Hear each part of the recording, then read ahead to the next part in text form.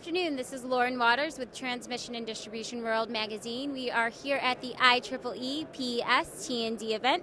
Right now, I am actually with Hannah Barzilay as well as Moshe Goldbaum. They are representing Ofil, and they are actually going to go over one of their latest products. So, Hannah, why don't you take it over?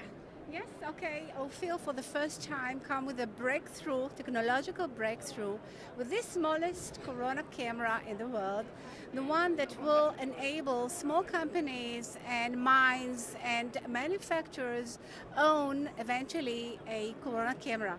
Now this camera, as you can see here, although it is intended to be used indoors and for distances of five meters approximately, here we can see discharge of ultraviolet from just from the lamps that are above us.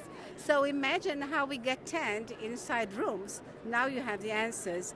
So this camera, if I show you, has uh, a very smart menu and very simple to operate. Even I can operate it, and I'm not an engineer.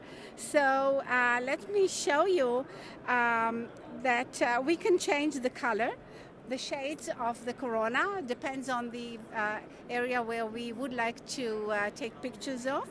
And we can also once we take a picture or a video we have an option to playback that, that. So here I can show you a uh, list of files that we use to as a uh, captured uh, ca- uh, pictures to show where the corona is. The corona can be seen here. It was taken in white, and it can be seen here on a stator.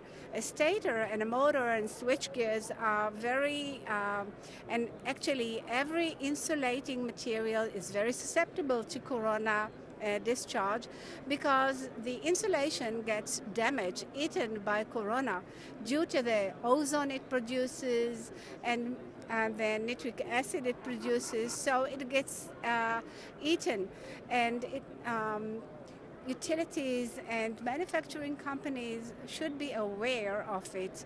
As one of our customers told us, Corona can be um, like a uh, cancer. You are not aware of it until you feel the damage it gives you. So uh, our task is to assist companies find where the damages are, mainly since seeing corona on times makes processes reversible. You can still uh, correct and fix whatever is damaged. Now, Moshe, my CEO, maybe he has anything to offer us to add? Yeah. Ofil has uh, two headquarters, one in Israel and one in the USA, located in Atlanta, Georgia. And with this uh, DayCor Scalar, we bring an additional era to our uh, products portfolio and also can afford uh, new customers to use Corona cameras since this is the uh, smallest, lightest, and uh, most uh, cheapest Corona camera available in the market. Great. Well, thank you very much, Hannah and Moshe. And as you heard it from the team, this is one of the smallest, most affordable Corona cameras out there.